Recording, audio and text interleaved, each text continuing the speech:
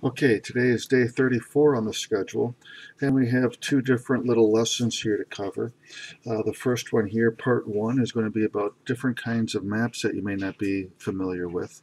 And then part two, we're going to start the uh, discussion on topographic maps. And that'll just be an introduction, and we'll finish that part up um, tomorrow. But remember that a map is a flat representation of the Earth's curved surface.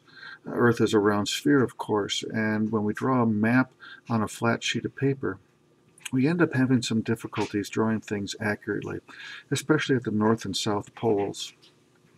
Um, the distances and the shapes of continents uh, get to be really skewed when we try to draw the extreme north and south of a ball on a flat sheet of paper.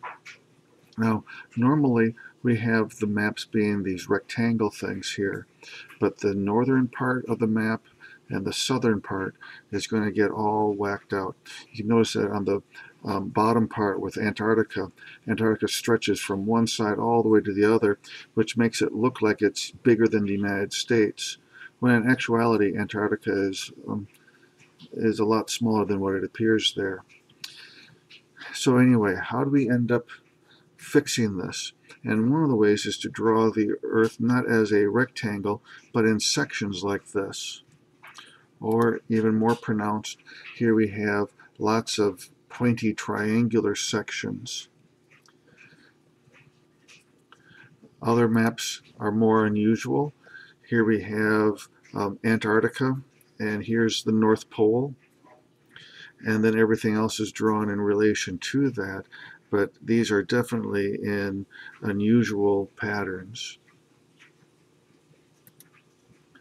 And then here we have, again, the Antarctica and North Pole are drawn accurately, but then we have lines of longitude that are kind of curving. Lines of latitude are curving as well. Now, all of these different shapes of maps are due to the fact that the Earth, once again, is a round sphere, and we're trying to draw the surface of this round three-dimensional object on a flat two-dimensional piece of paper. And going from the three dimensions to the two dimensions brings up lots of problems we're trying to draw the surface of the earth like the like unpeeling the uh, skin of an orange and laying the orange skin flat like a piece of paper. But when we try to do that in real life, we end up with uh, a torn up mess. So how do we do this? Well, one way is to carefully cut the orange peel, the surface of the earth, so to speak, in these pointy sections like this and then unpeeling it. That's where we get this kind of a map. It's called a Mercator uh, projection and we end up with these pointy sections just like we had the pointy sections of the orange peel. This way the shapes of the continents are accurate and the distances are accurate but the problem is that we have all these gaps in between the pointy sections, and people generally don't like that. And so we end up with just the rectangular maps that we're used to. When you do those rectangular maps, especially with the entire world, you have to remember that the shapes of the continents are not exactly drawn correctly, and the distances are a little bit more difficult to figure out accurately as well. Okay, that's the end of the first part of the discussion today. Let's go on to part two. We're going to look at topographic maps. Topographical maps, these are the ones that have squiggly lines all over them. These lines connect places with the exact same elevation or altitude. Knowing these lines, these help us to understand where hills and valleys and flat land is located.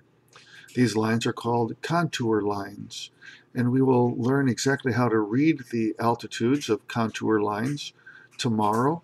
Right now, we're just going to talk about the other features of topographical maps. These topographical maps are used for lots of things, especially for governmental work, but also for um, individual persons. The government uses them for geological studies to see how water is going to flow in one place or the other. Land usage decisions. For instance, when you um, are planning out a railroad track, you want to have it as flat as possible. You want to have everything as close to the same elevation as you can. And so using the contour lines, you'll be able to tell which locations have the same altitude. Other uses of city planning and agricultural usage as well. But individuals, people are using these topographical maps more and more, not only for old-fashioned hiking, canoeing, skiing, and all that, but with a newfangled um, hobby called geocaching. This is especially getting to be more popular now that people have cell phones with GPS units on them.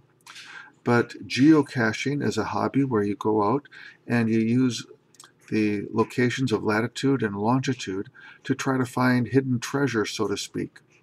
They're not really treasures, but um, people will go out and hide small items and they will challenge you to go out and try to find them. And you use the lines of latitude and longitude to do that.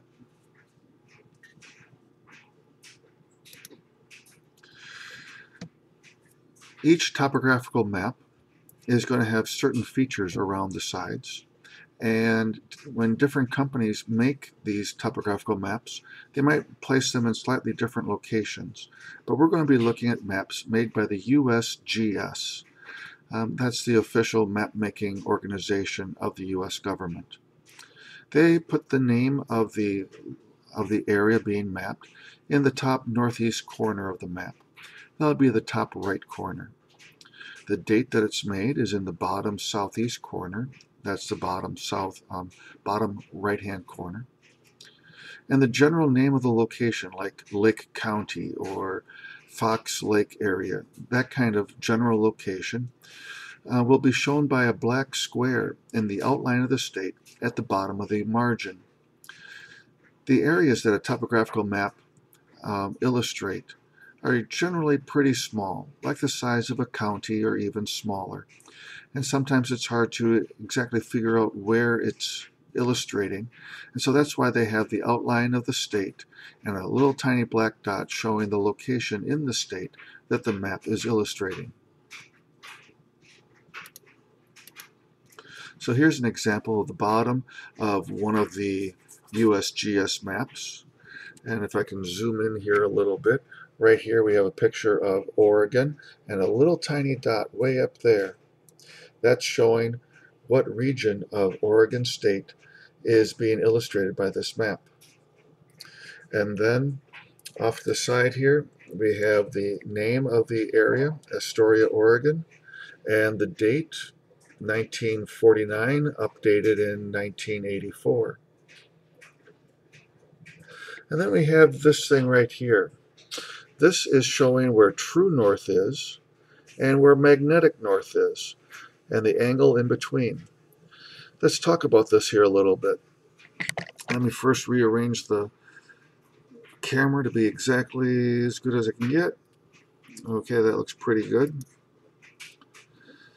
The compass direction at the bottom there has two arrows.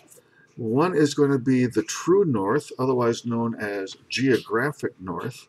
That's pointing to the top of the Earth's axis, that imaginary line that the Earth is revolving around. If you are standing exactly on top of the Earth's axis at this true, true north or geographic north, that's like sitting in the middle of a merry-go-round. You're not actually moving around in a circle there, you're just standing in one point, pivoting around and around.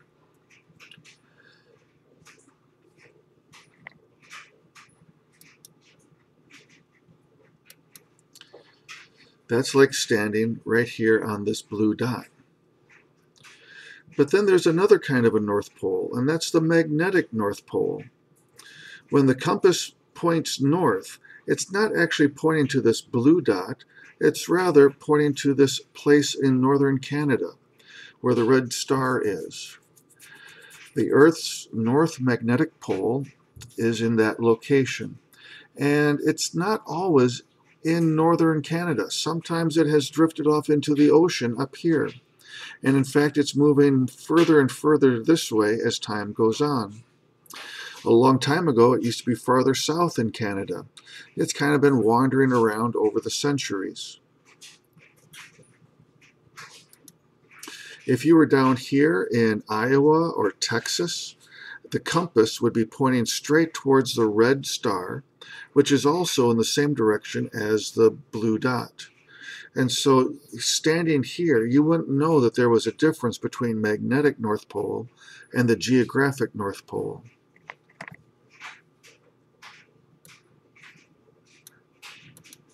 However, if you were over here in Alaska, the compass in your hand would actually point towards the red star straight east. The direction to the North Pole would be a very different angle up here. And so if you were trying to navigate yourself around the wilderness in Alaska, you would have to know exactly what this angle in between the magnetic north and geographic north is. If you didn't know what that angle was, you'd get very lost very, very quickly. The exact location of this magnetic north has changed over time, as I've mentioned before. As best as we can tell, in the 1600s, it was way over here off the coast of, of Canada. And then it wandered down here to 1700s, took a little jump to 1800, didn't go very far over the next hundred years, but then from 1900 to 2000, it really moved a lot. And in just the last 10 years, it's moved almost just as much. It has really picked up steam. It's now moving towards Siberia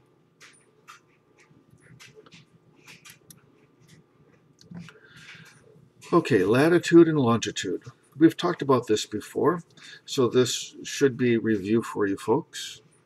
Remember that latitude, that is how far north and south a location is. And we get degrees and minutes to describe the exact location. The degrees are found in the bottom right-hand corner of the map, and the minutes are labeled along the right-hand side. And for the most part, we're just going to be looking at the northern hemisphere for our topographical maps. For lines of longitude, we get the degrees from the bottom right-hand corner again, and then minutes along the bottom of the map. And again, we're just going to be looking at the western hemisphere. So let's look at this topographical map.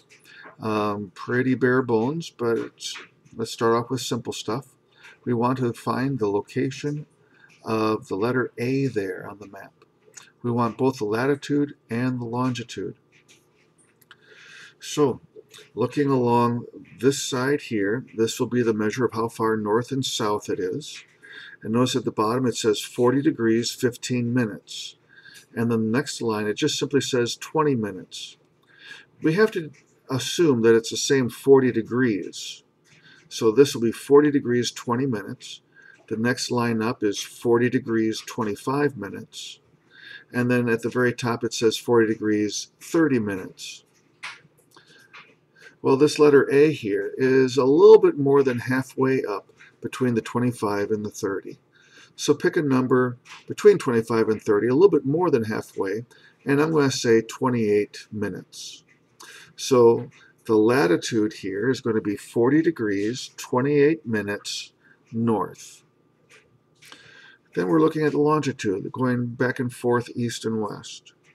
Okay, all of these are going to be in the western hemisphere where we're at. And at the bottom right hand corner here it says 117 degrees, 45 minutes. And then it just simply says 50 degrees as the next dot. So we assume that it's the same 117 degrees, but then 50 minutes. And then we have 55 minutes. So that'd be 117 degrees, 55 minutes west. And then the next degree mark, which is 119, 118. Well, this letter A here is a little bit more than the 55. So I'm going to guess 57 minutes. So the longitude is 117 degrees, 57 minutes west. The latitude is 40 degrees, 28 minutes north. go ahead and you try to figure out what the latitude and longitude of location B is. Please pause the video while you work that out. The correct answer for longitude is 117 degrees, 55 minutes west. We get that by looking at the B and going either up or down. Let's go down here. It's close to the 55, and that's between 117 degrees and 118 degrees. So it's 117 degrees, 55 minutes. Latitude, it lines up with the 25 minute mark here. And even though this just simply says 25 degrees, we look down here to see what, I'm sorry, this says 25 minutes. You look down here to see what the degrees is. So it's 40 degrees, 25 minutes. Okay, pause the video and you figure out what location C is.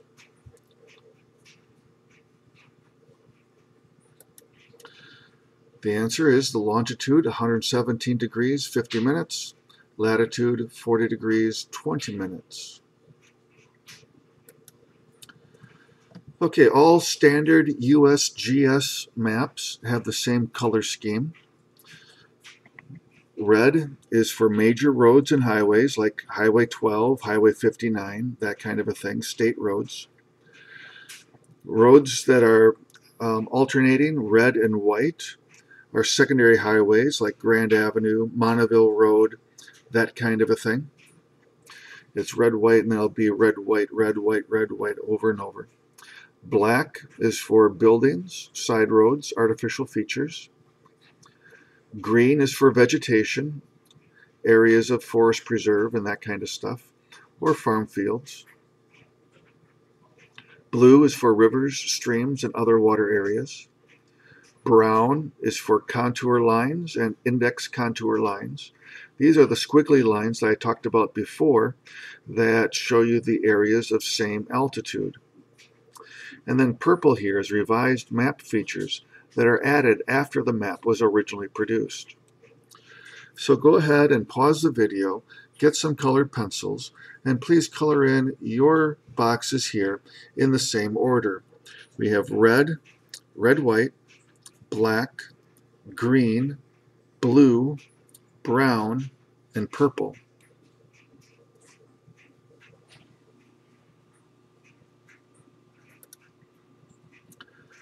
Okay, once again, a primary highway like Route 12 is going to be the red line solid.